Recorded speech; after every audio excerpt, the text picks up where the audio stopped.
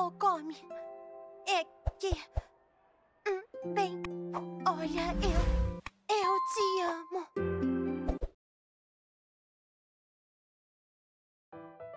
Meus amigos, esse é o jogo do Eu Te Amo. Perde quem demonstrar algum tipo de reação ao ouvir Eu Te Amo.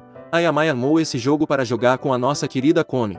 Tudo o que ela queria era dizer seus sentimentos para Komi sem se importar com quem ganha ou perde. Mas Najime aparece e não perdendo tempo acaba entrando na brincadeira. Ah, a propósito, come.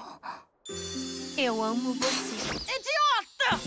Uh, reagiu, então eu ganhei!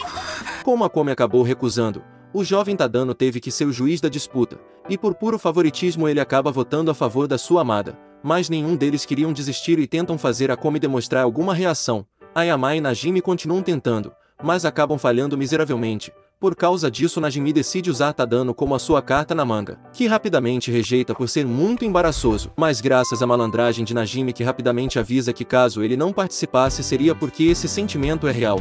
Ele fica sem escolha a não ser levar aquela brincadeira na esportiva, e tendo que dizer que ama sua querida Komi. Não tenho escolha a não ser usar a minha última cartada. Vamos lá, Tadão! Porque eu não, não.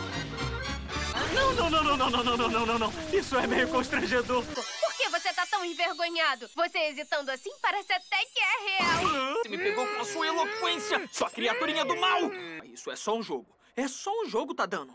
Eu, eu... Perdeu! Peraí, que isso? A pessoa que tá dizendo também não pode sorrir? Duh, claro que não. Afinal de contas, é uma coisa embaraçosa de dizer. Justo. Bom, é, ouvir isso de mim não é tão especial assim, né?